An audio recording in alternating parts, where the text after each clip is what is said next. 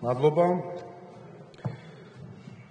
უბრალოდ ყოვლისა მადლობას მოგახსენებთ ყველას ოპოზიციას, ასევე ფიქრობ რომ საბოლოო ჯამში მაინც კონსტრუქციულად წარიმართა ჩვენი დღევანდელი ანგარიში და ბატონმა დავით უსუფაშვილმაც დაადასტურა ეს არის ახალი ინსტრუმენტი სულ მეოთხე ანგარიშია პარლამენტის საქმიანობის შესახებ ამიტომ ესეც უნდა გახდეს ნაწილი ჩვენი პოლიტიკური ტრადიციის და ამ ტრადიციას ახლა ჩვენ ვქნით ჩვენი ტონალობით, შინაარსით, თემატიკით, დამსწრებით, არადამსწრებით ეს ყველაფერი არის ტრადიცია, რომელიც ახლა ჩვენ თვალწინ ჩვენი მხრიდან იქნება. მაგრამ ახლა მინდა დავიწყო ჯერ ასე ვთქვათ ბოლო გამოსვლებიდან გამომდინარე კრიტიკული საკითხებით. მე რამდენჯერმე სპეციალურად ხაზი გაუსვი რომ იმისათვის რომ იყოს თანამშრომლობა ოპოზიციის ასე ვთქვათ რადიკალურ ნაწილთან და სამწუხაროდ მოცემულობა ეს არის რომ ნაციონალ მოძრაობა არის ამ შემთხვევაში ყველაზე დიდი ოპოზიციური პარტია და რა თქმა უნდა მნიშვნელოვანი არის ის რომ ნაციონალ მოძრაობა რადიკალური დღის წესრიგიდან გამოვიდეს კონსტრუქციულ თანამშრომლობას. და მე ვთქვი რომ ორი წინაპირობა არის რაც მე არა დაბრალების გამო ან სხვის სხვის მხარეს რაღაც ხარვეზის ძებნის გამო არამედ მართლა ვფიქრობ და გულწრფელად ჯერა რომ ეს არის ერთ-ერთი მთავარი პრობლემა. ერთი, ვერ მოვისმინე სამწუხაროდ არჩევნების აღიარება კიდევ ერთხელ, აღიარება, რომ აი ეს არის ის გადანაწილება, რომელიც მოქალაქეებმა გააკეთეს 2020 წელს და მეორე, ვერ მოვისმინე კიდევ ერთხელ დისტანცირება იმ აბსურდული კონცეფციისა, რომელზეც რომელშიც აცხოვრებთ თქვენ მხარდამჭერებს, ეს არის რომ თითქოს 10 წელია საქართველოს ხელისუფლებაში არის რუსული პროექტი. თუმცა ამოვედო საინტერესო ასე თქვა წამოწნა ქონდა ქალბატონ ეკა ხერხეულიძეს რომელმაც საინტერესო ის იყო რომ გამოიყენა შემდეგი ფრაზა რომ ამ ხელისუფლებას რისკი აქვს რუსულ ორბიტისკენ მიაბრუნებს როგორ აი აქ ჩანს ასეთ ასეთ შემთხვევით წამოწდენებში ჩანს რომ ნაციონალ მოძრაობის ლიდერების ნაწილს ყოველ შემთხვევაში მაინც თავადაც რა თქმა უნდა ამ კონცეფციით არ წამთ მაგრამ ეს არის ეგრეთ წოდებული PR კონცეფცია რომლითაც ისინი ყვებავენ საკუთარ ამომრჩევლებს, რომ გააჩინონ რაც შეიძლება შეუნარჩუნონ, გაჯერ გაუჩინონ და შემდეგ შეუნარჩუნონ ზიზღი საკუთარი სამშობლოს ხელისუფლების მიმართ. ეს არის სამწუხარო და ამიტომ რა თქმა უნდა შემდეგ რთული არის ხოლმე საუბარი თანამშრომლობას.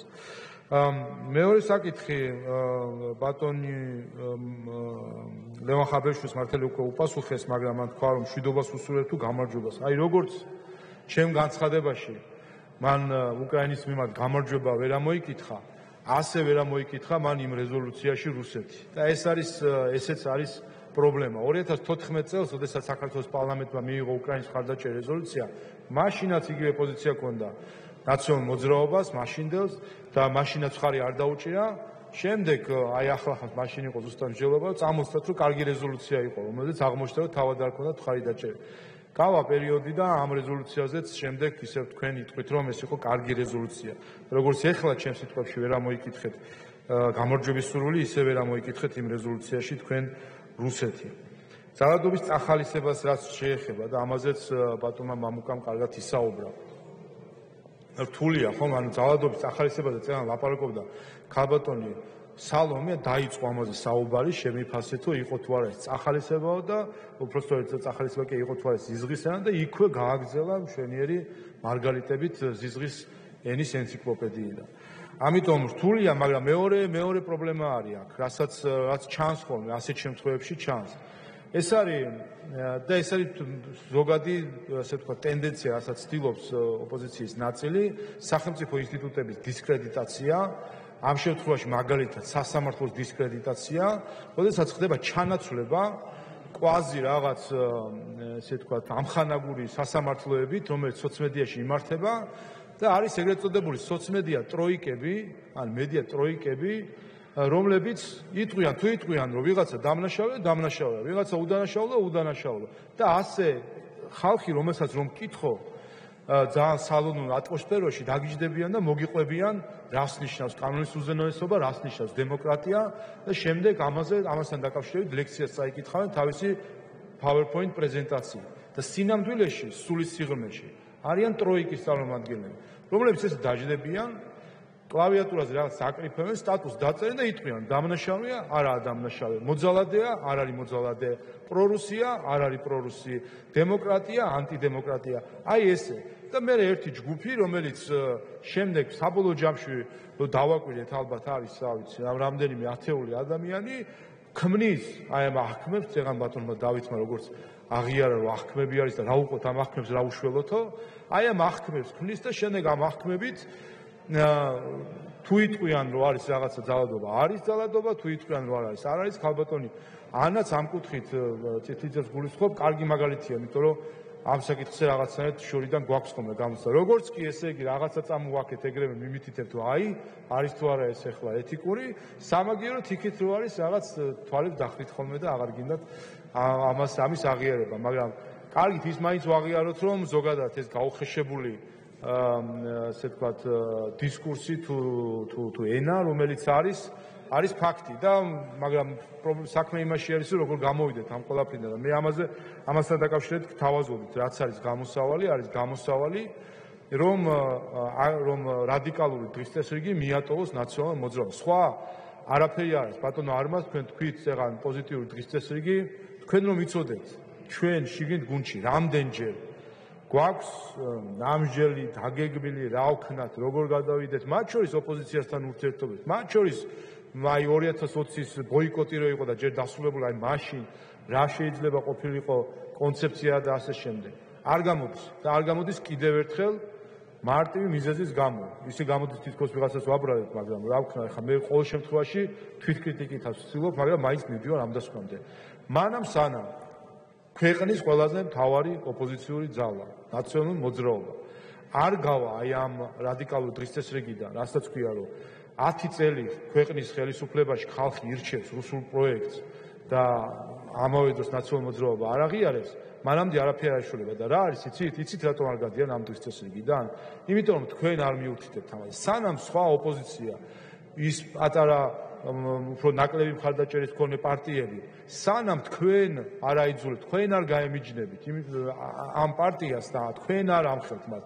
მანამდე სამწუხაროდ ჩვენ მხოლოდ ვერ გავმკლავდებით და სამწუხაროდ ესეც მას მე გითხარით პლურალიზაციას საუბრობდი რომ 2020 არჩევნების შემდეგ სამწუხაროდ თქვენ შეუქმენით ის ანტურაჟი ნაციონალურ მოძრაობას სიბევრით ასე ვთქვათ არითმეტიკული სიბევრით რომ თითქოს ეს იყო რაღაც ერთიანი პოზიცია ბევრი ბევრი პარტიის და სწორედ ამას ეს გამოიყენა მაშინ ნაციონალურ მოძრაობამ და საბოლოო ჯამში ნახეთ ჩვენ რაც რაც რაც დამართეს საკუთარ ქვეყანას.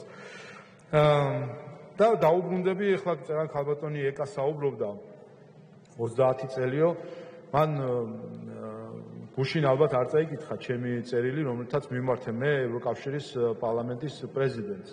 და მათ შორის მისი სახელითაც მიმართე, მინდა და მიმართე როგორც საქართველოს პარლამენტის თავმჯდომარე. და თუ თუ წაიკითხავ და იქ ნახავდა, რაზეც იყო მითითება, მათ შორის ეროვნულ გამართლების უფლებაზე მოძრაობაზე მითითება. და იმაზე რომ ევროპული არჩევანი ეს არის რა თქმა უნდა ჩვენი ცივილიზაციური არჩევანი და ამაზე კამათი თუ იყო აქ საჭირო და ამის ხაზგასმა და ორი წუთი ამისთვის დროის დახარჯვა მე მგონი არღის.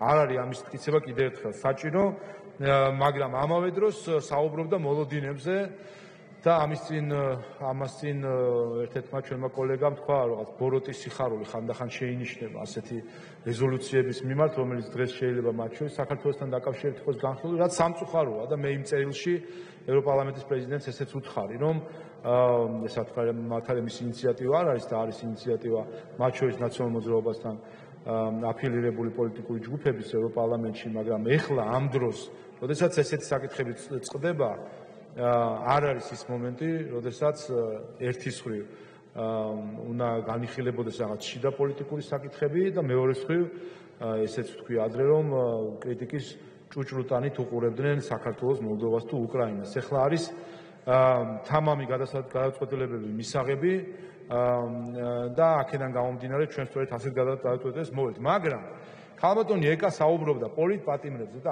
ახსენა მიხეილ სააკაშვილი და ეს მოლოდინებია ხომ? იქნებ რეზოლუციაში იყოს ნახსენები და ავი შეიძლება იყოს კიდევაც ნახსენები. ჩვენ მინიმუმ ყოველ შემთხვევაში თქვენ პარტიასთან აფილირებული ევროპელი პოლიტიკოსებისგან გვესმის ხოლმე. ამაზე ღია საუბარი მათი მეგობრობა მიხეილ სააკაშვილთან რა არის იცით ხა როგორ თქვა ან როგორც მოქალაქე გეტყვით როგორც პარლამენტის წევრი როგორც პარლამენტის თავმჯდომარე ეს არის პრობლემა ეს არის პრობლემა რომ თქვენ არ გინდათ თვალი გაუსწოროთ მარტივ ჭეშმარიტებებს და კითხულობთ ვინ ისჯება თუ არ ისჯება და ამაზეც გიპასუხეს რომ რომელმა პრეზიდენტმა ჩაიდინა ის დანაშაულები რომლებიც ჩაიდინა საქართველოს პრეზიდენტმა. აა მანამ სანამ არ გავუსწორებთ სიმართლეს თვალს, რომ როდესა რომ ადამიანი, რომელმაც გირგვინალის კვლელებს ხელი დააფარა და მართსაჯულებას წინააღმდგა, რომელზეც სტრასბურგის სასამართლომ თქვა და რაც გაიმეორა ქართულმა სასამართლომ, ვინმეს თუნდაც ნაციონალურ მოძრაობაში ეჭვი გეპარებათ, ეჭვი კი არა თქვენ ამის მონაწილე იყავით. იმ სტრასბურგის სასამართლო მარტო სააკაშვილს ხوار დაადო ხელი.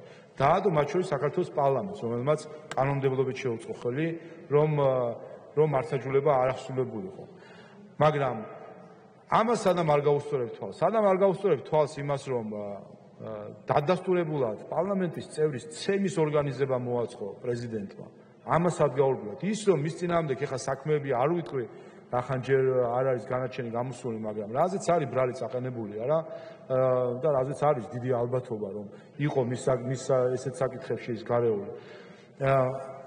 და აი ამის საპირისპიროდ ქმნით იმ ყალბ რეალობას, პოლიტპატიმრობის და ასე შემდეგ. ხო ხვდებით რომ ამას ვერ ყიდით თქვენ საზოგადოებაში. არ გიჯერებთ ამას საზოგადოება. აჯერებთ რამდენ აჯერებთ რა ხა თქვენი პოლიტიკური ამხანაგები და მეგობრები ვინც არიან, რა თქმა უნდა იმას ბევრი დაჯერებაც არ ჭირდება, ნაწილი არიან თქვენი პოლიტიკური ორგანიზმის და აქედან გამომდინარე შეიძლება თქვენზე მეცაც კი აკეთებენ იმისთვის რომ ეს რეალობა გააყალბონ, მაგრამ ამ ამ ამ რეალობას ადამ არაცდებით იმის თქმა მინდა რომ სამწუხაროდ სამწუხაროდ ეს ეს კონსტრუქციულ რეჟიმში გადასვლა უფრო და უფრო რთულდება. და ბატონმა არმაზმა ასევე ახსენა არჩევნები იყო უსამართლო. ანუ კი ბატონო, ანუ შევთანხმდით რომ არჩევნები პროცესს გარემო წინასაარჩევნო იყო. ანუ შევთანხმდით რომ არჩევნები თავად არ გაყალბებულა. ეხლა წინასაარჩევნო გარემოს უსამართლობას რაც შეეხება. აქაც რა თქმა უნდა ეს არის ცოტა თვითვიქტიმიზაციის პროცესია რომ რაღაც ოპოზიცია ფიქრობს რომ ის არის დაჩაგული თუკი სამართალზე და უსამართლობაზეა საუბარი.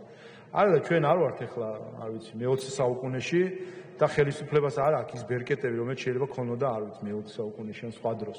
ეხლა სხვა სხვა გარემოება, სხვა ტექნოლოგიებია და სხვანაირი სამართლიანობაზე გავლენა სხვადასხვანაირად შეიძლება. სამართლიანი იყო ის წინა საარჩევნო გარემო 2020 წლის ზაფხულში, როდესაც ჩვენ თვეების განმავლობაში მედიის ხრიდან გახსოვთ თქვენ ბაჩალიაშვილის საქმე ხომ გახსოვთ, შაქარაშვილის საქმე ხომ გახსოვთ. გახსოვთ მთელი манипуляცია და დეзинფორმაცია ამ საქმის გარშემო, ეს არ იყო წინა საარჩევნო უსამართლო გარემოს შექმნის მცდელობა.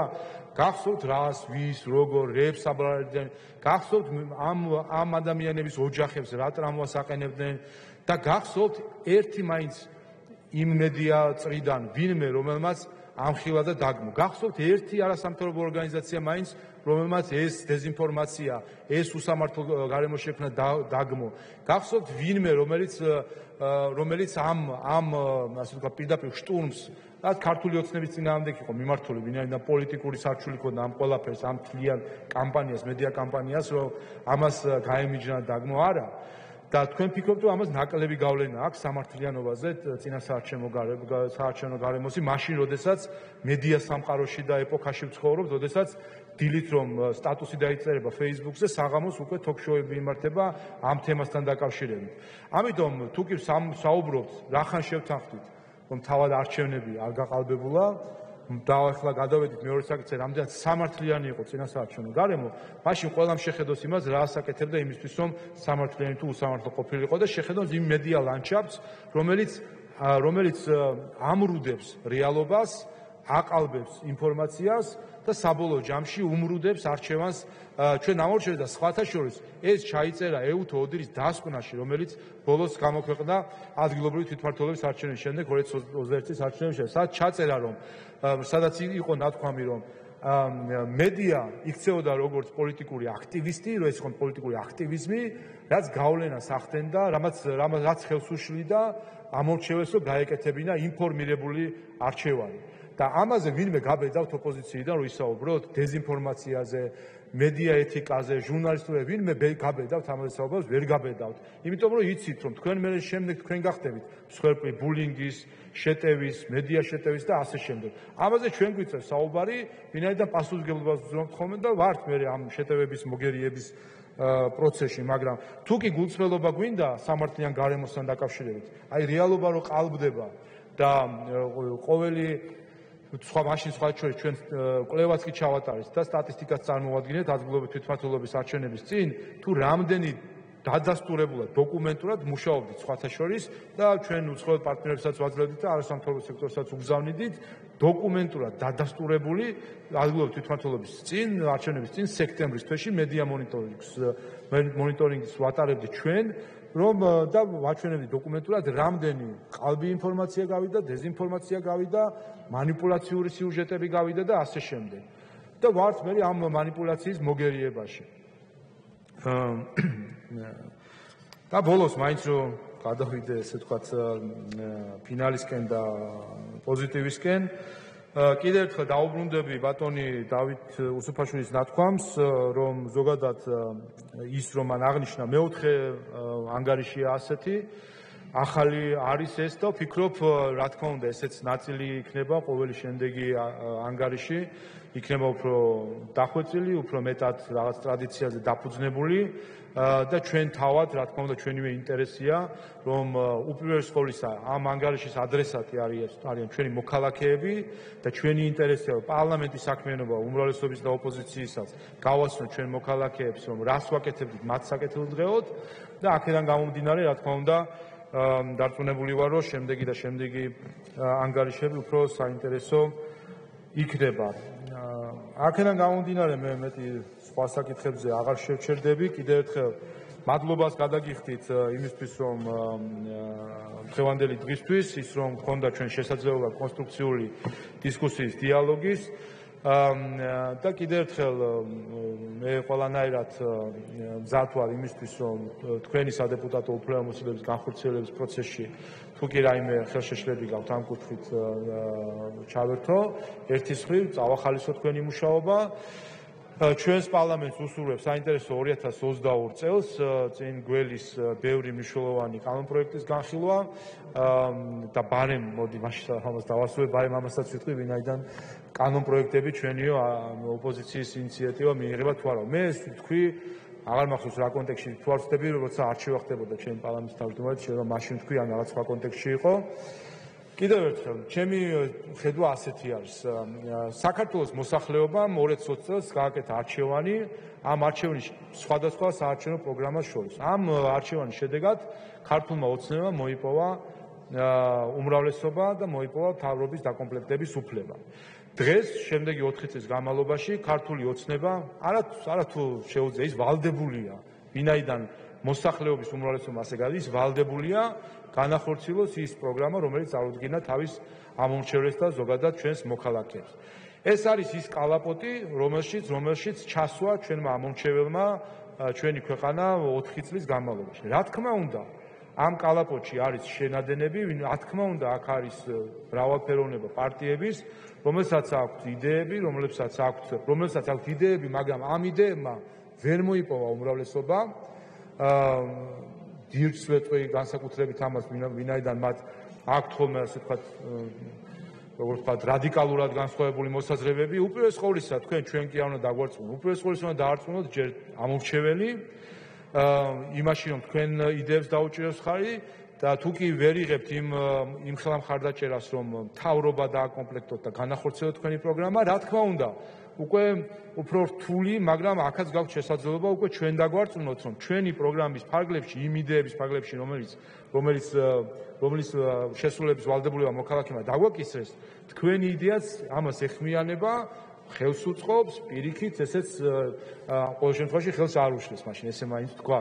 ამიტომ მე ამას ამას ვიტყოდი ეს გასაკვირი ჩემი აზრით არ არის რომ ოპოზიციის ინიციატივები შეიძლება არ იქნას მიღებული პარლამენტის მხრიდან ას ეს ნიშნავს რომ და ამოვიდოს მიუთითებს რომ განსაკუთრებით გასაკვირი არის თუკი ოპოზიცია მანამ სანამ კანონპროექტს დაინიცებს არ მუშაობს უმრავლესობასთან ანუ იმ ხალხთან ვინც ხარი უნდა დაუჭიროს ჩვენ მათ უნდა ემუშაოთ და მე მე თუ არ ემუშავებით და მხარდაჭერას არ მოიპოვებთ მე რა თქმა უნდა ხარ თული არ გაგიკვირდეთ რომ მხარდაჭერა არ აქვს ამა თუ იმ პროექტს. ყოველ შემთხვევაში ყოველ შემთხვევაში თქვენ აღნიშნეთ კიდევაც რომ რა თქმა უნდა თავისთავად ეს ინიციატივები დისკუსიას მაინც ხსნის. მეორე საკითხი კომიტეტებში განხილვას თამას მე გეთანხმებით რა თქმა უნდა და მე ამ საკითხითაც კიდევ ერთხელ გვექნება შესაძლებლობა ვისაუბროთ და დავინტერესდები და ვიცი და ვიწევს ხოლმე გადავადება და ზოგადად ჩემი მიმართვა არის კომიტეტების მიმართ რომ კანონ პროექტები თუ სხვადასხვა პროექტები დროულად იქნას განხილული არ მოგვიწევს გადადება მათ შორის ეს შეეხება ოპოზიციის ინიციატივებს რასაც არ უჭერთ ხარს კომიტეტის უმრავლესობა ნუ დაუჭერთ ხარს არ არის სავალდებულო თუმცა მნიშვნელოვანია რა თქმა უნდა რომ ტრიბუნა მიეცეს ოპოზიციას იმისთვის თავისი ინიციატივები წარმოადგინოს და ყოველ შემთხვევაში ამ ტრიბუნიდან გააცნოს საზოგადოებას. კიდევ ერთხელ მადლობას გადაგიხდით და გისურვებთ ყველას წარმატებულ 2022 წელს. მადლობა. დიდი მადლობა.